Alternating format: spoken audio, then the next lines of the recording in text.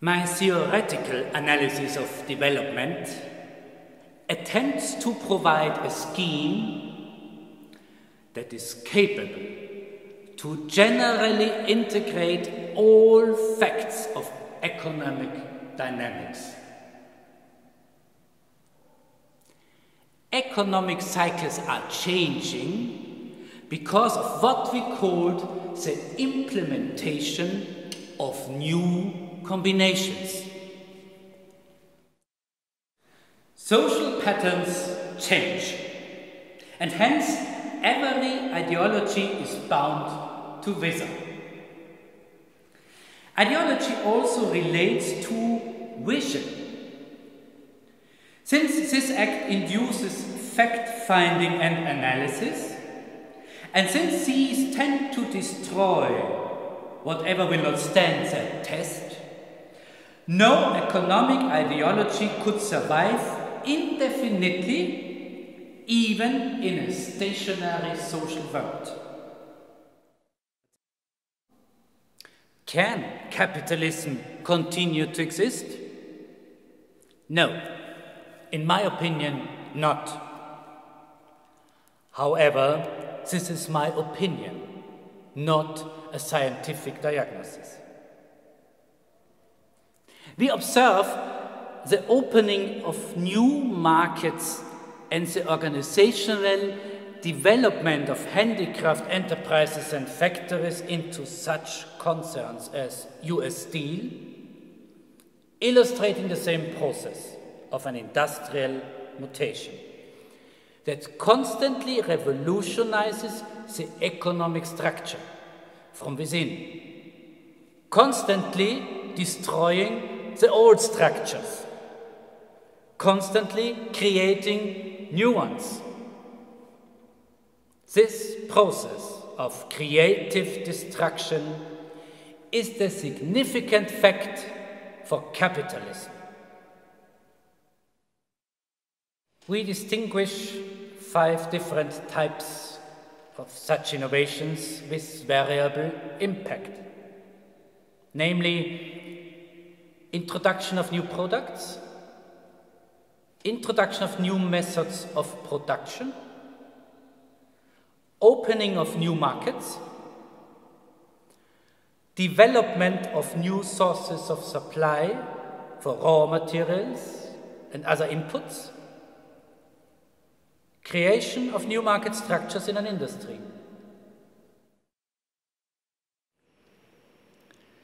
Now, experts and even the general public commonly perceive innovation as an important ingredient in economically effective new technologies, marketing strategies, and organizational approaches to enterprises. By contrast, innovative new social practices in changing patterns of behavior rarely receive much attention.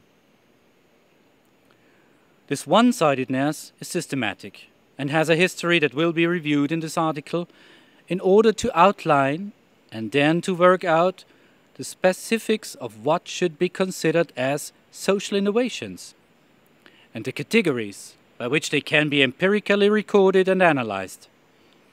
The article will conclude by referring to critical areas of social development in the 21st century, which have manifested a special need for basic social innovations.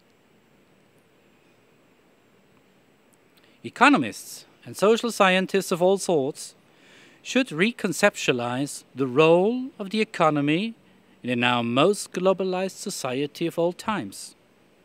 A spectacular achievement, instigated and driven not least by innovations, as we began to understand them a hundred years ago. We should consider economic developments as part of the larger stream of developments in society and culture. Our comprehension of what is innovation must comprise social dimensions of innovations in the world of firms, as well as in the public sector and in voluntary associations of citizens from all walks of life.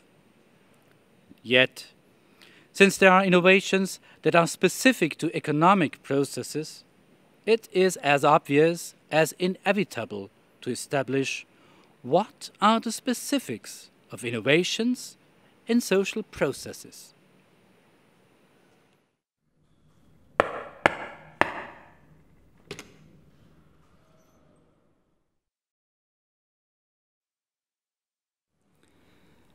It was a pleasure to observe creative new ideas emerging here during the past two days.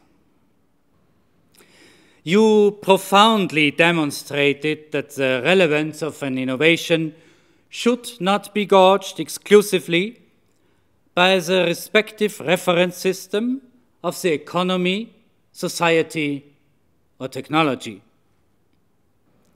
Although Economic and social innovations differ according to their objectives. All innovations are socially relevant in that they emerge under social conditions and have social effects. In concluding, let me repeat one gist of my writing from a hundred years ago. I considered economic analysis most advanced within the rich realms of social sciences. It has a proven capacity to serve as model to further analyze developments in other social spheres than the economy. Discussions and approval of the Vienna Declaration on the Most Needed Social Innovations identified important research topics that call for elaboration by scholars of all shades of social sciences, including economics and humanities. Much work waits for you and the wider communities around the globe.